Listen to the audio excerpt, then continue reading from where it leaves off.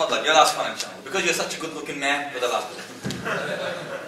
Is boxing makruh or Oh, haram? Akbar! Good question. That is a few lessons, I think.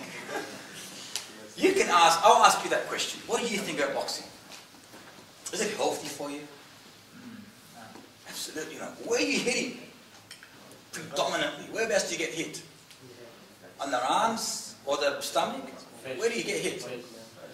Majority of times on the face. First of all, boxing detriments your life.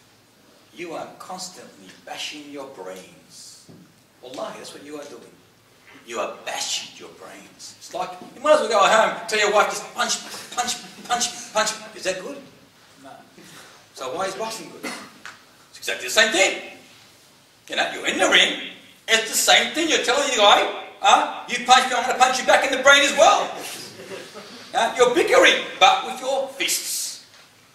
You're bickering, not with your mouth, with your fists. It's haram. لا ضرر ولا ضرار. No harm should be done, no reciprocating harm. Another narration mentions you are not allowed to hit the face.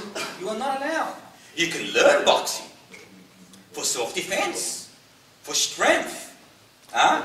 Because it's a great recreation. It really is. And recreation is a beautiful word. To recreate, to revive, re- rejuvenate, huh? to reform your body. And boxing does that for you. Defense, not competition. Huh? Because it's extremely important that us Muslims have that ability to recreate our existence, meaning to revive our strength, to be strong, to be like an eagle, aware vigilant, and not just walking around like a snail. Huh?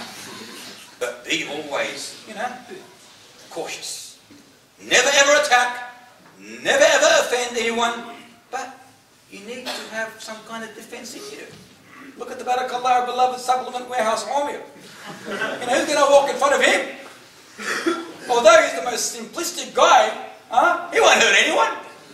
They call him a gentle giant, just like our beloved Umar. Where's Umar? He's ran away? A gentle giant. The bigger you are, the more gentle. Maki Ali the bigger you are, the more gentle you are. But they're the ones that you got to be careful of.